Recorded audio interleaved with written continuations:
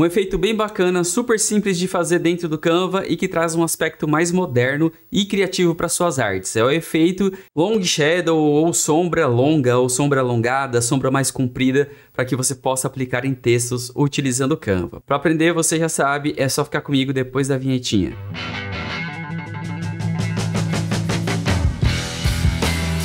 Fala aí designer e amante do design, tudo bem com você? Daqui é Rodrigo Silva e hoje eu vou trazer para você mais um presentinho, uma técnica que em outras ferramentas é um pouquinho mais trabalhosa de fazer, mas que dentro do Canva esse efeito de sombra mais alongada é super fácil de fazer, ó, mamãozinho com açúcar. Então para aprender você já sabe, deixe seu like, se inscreve aqui no canal, assina o sininho de notificação para ser lembrado de a cada novo vídeo que eu trago aqui. E sem mais enrolação, bora pra frente do Canva aprender mais essa técnica. Bom, estou com um documento aqui aberto no Canva, tá? Qualquer dimensão você pode utilizar aí. Aqui eu estou usando na dimensão 1080 1080 apenas para exemplificar, beleza?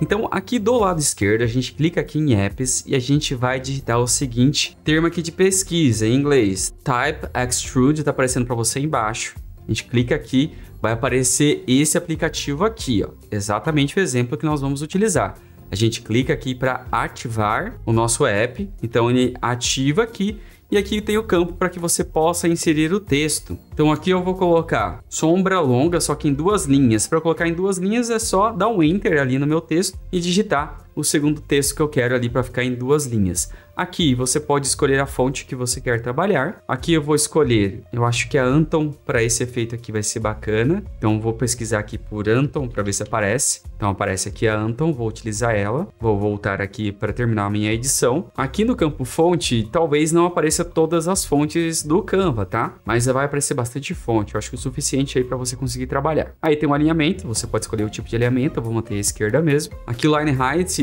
é a altura do nosso texto. Então aqui embaixo ó, que não tá aparecendo porque eu tô com o zoom maior da minha tela. Mas aqui, ó, além de aparecer a tipografia, o efeito, aqui você consegue ver aqui na parte de baixo, quando você mexe aqui no line height, você consegue ver a distância entre linhas que você quer deixar ali o seu texto, tá? Então vou deixar nessa proporção. Aqui no board width é a largura da borda do seu texto, quanto que você quer deixar, tá? Então vou deixar aqui com 17. Aqui é o ângulo da sombra, qual o ângulo que você quer deixar ali da sombra. Então vou deixar aqui para o canto inferior direito. E aqui nessa opção escrito length, que é a distância, aí o comprimento ali da sua sombra, tá? Você pode deixar mais curta ou zerado, média sombra ou uma sombra mais longa. Aqui eu vou deixar com a sombra mais longa. E aqui você pode alterar a cor do texto e da sombra. Então eu quero aqui que meu texto ele fique um pouco mais amarelo, então eu vou alterar aqui para um texto mais amarelo. E a sombra eu quero que fique um vermelho mais escuro, dessa forma aqui. Aqui o Dark Background é só para você testar, para ver como é que fica o resultado com um fundo mais escuro. E depois que você deixou do jeito que você quer, tá agradável para você, é só clicar em Add to Design, que vai ser adicionado aqui dentro do seu projeto. Note que aqui aparece dentro do quadro a sombra está cortada, só que aqui ele vai trazer a sombra para o inteiro com acabamento ali, que a gente pode ver aqui, ó, com acabamento ali da fonte aqui no final, tá?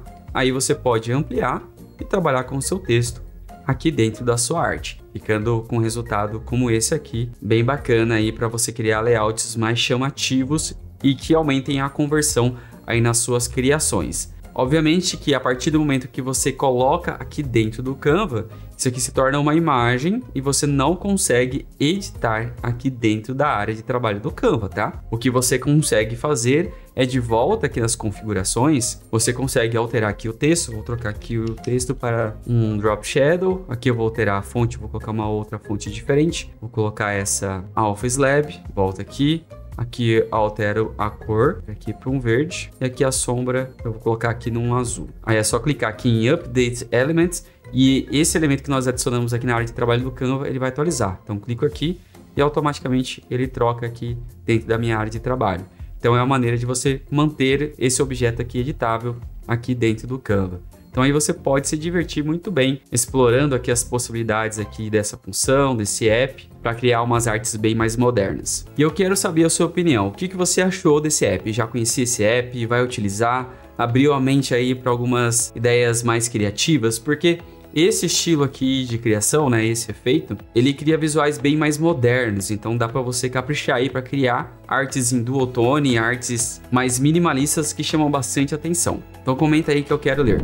Ah, aproveita para se tornar um membro aqui do canal, clica no botão seja membro aí que seu nome vai aparecer com esses outros nomes aqui, isso me ajuda pra caramba e dá acesso a alguns conteúdos exclusivos, materiais exclusivos, templates e aulas aqui dentro do canal. E de maneira especial para esses nomezinhos que estão aparecendo aqui, ó, que se tornaram membros recentemente aqui no canal. Gratidão imensa por você colaborar aqui com o meu projeto e com o meu trabalho. Lembre-se que aí embaixo você encontra diversas outras informações links para a playlist exclusiva de aulas de Canva, links para materiais extras e também para os meus treinamentos. Tá tudo embaixo na descrição. Eu já vou ficando por aqui, mas antes deixo com você esses outros dois vídeos para que você possa evoluir como designer gráfico aqui no canal.